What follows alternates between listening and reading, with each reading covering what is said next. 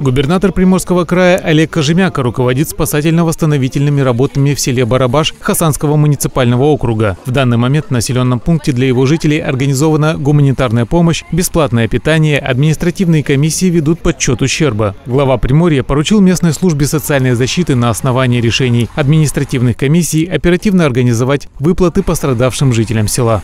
У нас прибыли комиссии э, поддержки с Владивостока, с Артема. Они сейчас э, начнут работать о оценке ущерба, вот, проходить по домам, вот, составлять акты, сразу смотреть там и э, по ремонту. В соответствии с этим за два дня они э, охватят максимальное количество тех пострадавших домовладений, которые э, были затоплены.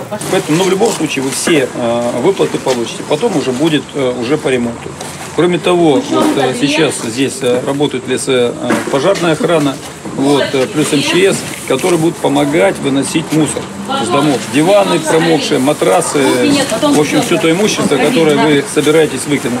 Складывайте это все на дорогу, Губернатор в ходе оперативного штаба в администрации села Барабаш поручил его главе организовать работу по уборке испорченного имущества и вывозе его на полигон.